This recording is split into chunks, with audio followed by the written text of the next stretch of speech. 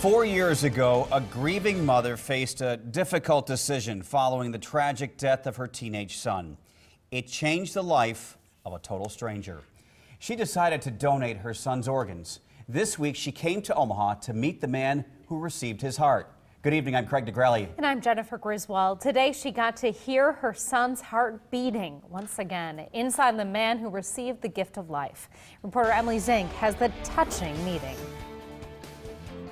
Four years after her son's tragic death, a mother from Kentucky came to Nebraska to hear her son's heartbeat again. An emotional meeting at Nebraska Medicine Thursday evening. How you feel? Best I've felt all my life. Dawn Grace finally met the man who has her son's heart. But I can hear it. Can you? On Friday afternoon, Grace got an even better listen. It's so peaceful. Exactly four years ago today. Joe gained life. Kaylin gained everlasting life. In 2012, 14 year old Kalen Grace of Kentucky accidentally shot himself with a gun he thought was broken.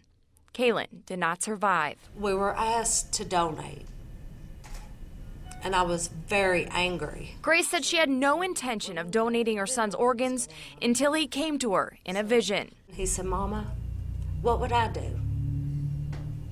This is not about you. Grace decided to donate, and hundreds of miles away, Joe Hansen of Council Bluffs was given a second chance at life. When I open my wallet, he's the very first thing I see when I open my wallet.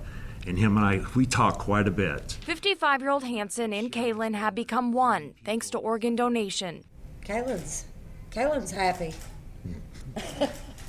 Yep, he's happy, I'm happy. We're both very happy together. Hanson and Grace have corresponded for years but never met. Both sides needed time to heal. They say finally meeting on the four year anniversary of the transplant was the perfect time. I mean, I feel blessed. I feel thankful. All right, well, one more time or? Sure. Emily Zink, real strong. KMTV Action 3 News. So emotional. There are nearly 450 people in Nebraska currently waiting for a life saving organ donation. Nationwide, 150 people are added to the organ transplant waiting list each day, an average of one every 10 minutes.